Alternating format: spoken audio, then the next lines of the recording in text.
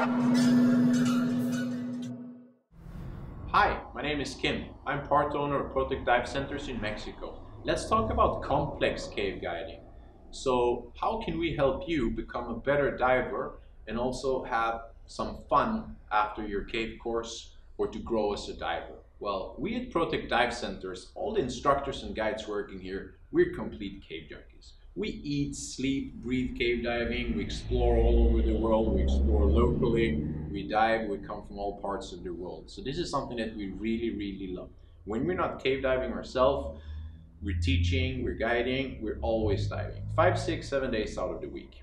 So if you after the training want to grow as a diver and do more bigger dives or if you're a certified stage diver, multi-stage diver, cave DPV diver, a CCR cave diver, you have a specific mission or goal or specific dive that you want to do, then help us to help you because we love doing those types of dives too.